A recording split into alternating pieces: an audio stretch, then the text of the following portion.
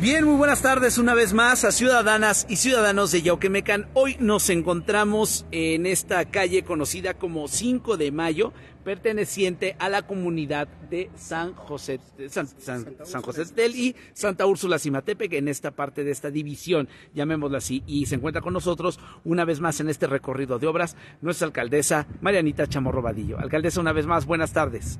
Buenas tardes, Mauro. Buenas tardes a todos. Otra vez estamos en esta comunicación con ustedes, eh, vecinos, pues porque es importante que, se enteren ustedes de primera mano de las acciones de gobierno.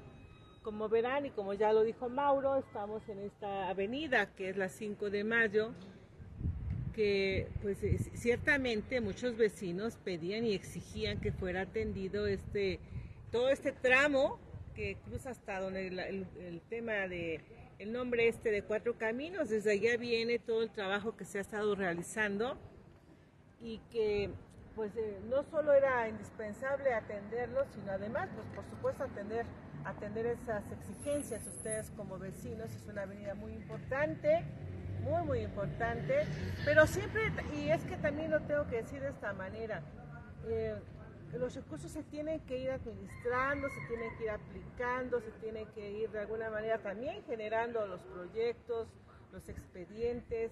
La dirección de obras, de obras una, una dirección que trabaja mucho porque constantemente están elaborando expedientes. Y bueno, finalmente ya, ya está en un avance muy importante esta obra. Tengo que reconocer que aquí hubo la buena voluntad, de verdad que lo reconozco porque es un gesto extraordinario en que pudiéramos coincidir el presidente de San José Tetén, el señor Marcelino, y el presidente de Santa Úrsula Cimatepec, el señor Ignacio Hernández, y, digamos que la administración municipal, dado que la suma de parte de los recursos de ellos, eh, del programa FAISMUN, y, recurso propio del municipio, es como se ha podido lograr este avance de verdad que me da gusto, creo que los vecinos lo están viendo, lo están valorando y bueno, nosotros en el mejor de los ánimos de seguir dando respuesta a las necesidades más sentidas de la ciudadanía. Gracias, alcaldesa. Eh, ingeniero Miguel López Rosete, eh, hemos visto eh, dos momentos de continuidad en esta pavimentación de concreto, ¿cierto? De, concreto hidráulico, asfalto. Aquí en esta calle 5 de Mayo, que ya se decía era una demanda de la ciudadanía, tanto perteneciente de Santa Úrsula, de San José Tetel, viene desde donde recordemos a los ciudadanos desde dónde viene la pavimentación. De un lugar que se llama Cuatro Caminos. Cuatro Caminos. lo conocemos. Claro. Adelantito 400 metros pasando este, el crucero, ¿verdad? rumbo al Oxo. Donde está un pozo de, donde está un pozo de agua. Donde está un tanque de agua. Un tanque de agua, exactamente. aproximadamente desde allá, vamos allá, eh, le calculo un 70% de avance en esta obra. Okay. Es una obra que, pues sí, la ciudadanía anhelaba desde el inicio de la administración. Muchas solicitudes se nos hicieron llegar. Esta misma se platicó tanto con la señora presidenta, con los presidentes de comunidad y bueno, pues ahora es una realidad. Aquí también hemos estado muy atentos, señora presidenta, con los vecinos, con los beneficiarios directos, con los presidentes de comunidad, para que también estén pendientes de tanto de la calidad, de la cantidad y de la empresa que está realizando la obra, para que en su momento pues no haya duda de que se está haciendo con calidad Este Llegamos a un punto donde hasta ahorita llega en un, eh, hasta ahorita en este momento, vamos a hablar de momentos, llega hasta esta parte en donde hay un salón de fiestas reconocido en esta zona. Y me voy a permitir girar el teléfono para que se visualice la parte, si nos hace favor tantito, gracias, para visualizar la parte que estaría, bueno, está en un proceso ya de, de esta pavimentación hasta dónde va a llegar aproximadamente esta, esta pavimentación, eh, ingeniero. Mira, vamos a llegar aquí, eh, estamos viendo los vehículos que están pasando allá enfrente, es la Avenida México, nosotros estamos entroncando con el Boulevard Emilio Sánchez Piedras, aquí de nuestro vecino Apizaco, es hasta ahí nuestra, nuestra meta. Hasta ahí llegará. Es correcto. Ya estamos a, ¿a qué, distancia aproximadamente? ¿Cuántos metros son, faltantes? 200 metros. 200 metros, perfecto de largo. Correcto, pues bueno, pues eh, para los que se preguntaban en algún momento si todavía está eh, este tramo carretero que enlaza a mucho autotransporte, sobre todo colectivo para eh, mucha gente de su labor diaria a Pizaco, a Tlaxcala y a muchos lados que vive aquí en Yauquemecan, pues bueno, ya tendrán en próximas fechas concluida esta parte de rehabilitación con pavimentación de este, de este eh, asfalto. Es correcto. Bueno, sí. Pues, alcaldesa, se, sigue trabajando en el gobierno. no palabras, se ha dicho tantas veces. Hechos, no palabras. Y, bueno, de verdad que me da gusto que tengamos esa posibilidad, esa oportunidad de ser nosotros, esta administración, la que eh, está resolviendo una y otra y otra vez temas que, pues en otros momentos no se les dio la importancia, no se vio, eh, digamos que el alcance de esa necesidad que había entre los ciudadanos y qué bueno que nosotros hemos tenido esa sensibilidad qué bueno que hemos tenido también pues esa capacidad de entender las necesidades de los demás y ahora pues lo estamos, lo estamos haciendo con, de verdad con muchísimo gusto y bueno aquí nos acompañan nuestros jóvenes compañeros que son parte de esta administración. ¿Algún comentario chicos? Sí, pues evidentemente es una avenida, una calle muy transitada y son trabajos de verdad muy necesarios.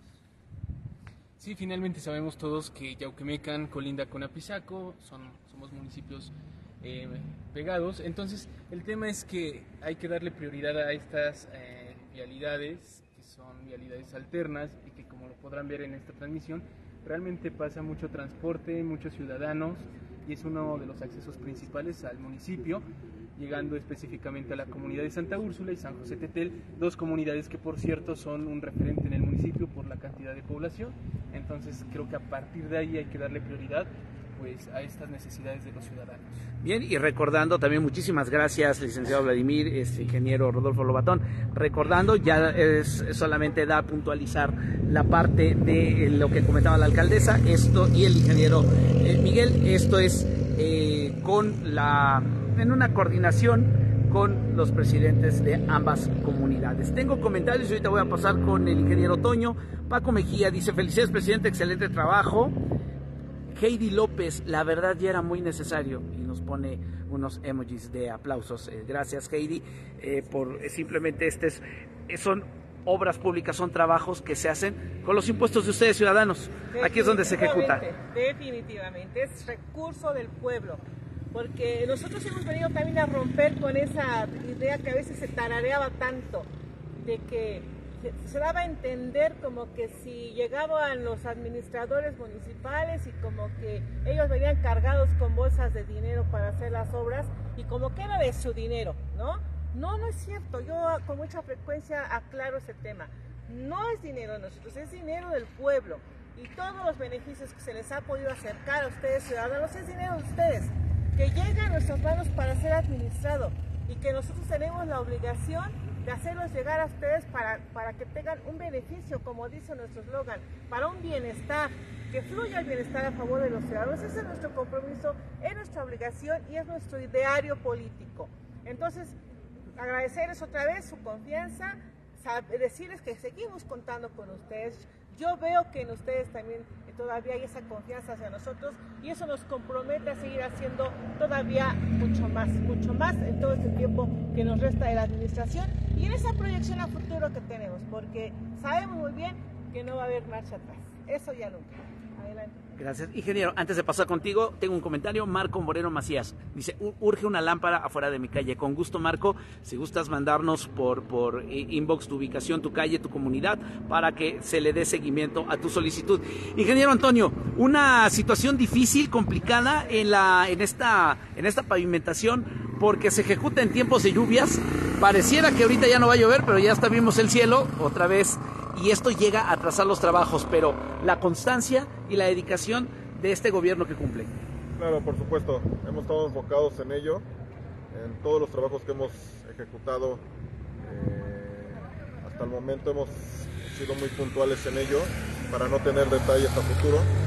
Eh, es importante que la ciudadanía eh, tenga bien conocimiento de que el tramo que nos hace falta, si requieren de instalaciones eh, de su conexión, perdón, de drenaje, así como de agua potable, es importante que se acerquen con nosotros en coordinación con el presidente de comunidad, ya que el agua no está municipalizada, ni los servicios, pero es importante para que posterior no se tenga que estar abriendo la calle. Entonces, el tramo que hace falta, eh, es importante que se contacten ya sea con la presidencia municipal o en este caso con el presidente de comunidad para poderles brindar la atención y no eh, posterior estemos afectando el pavimento, ya que la a estar quedando en perfectas condiciones.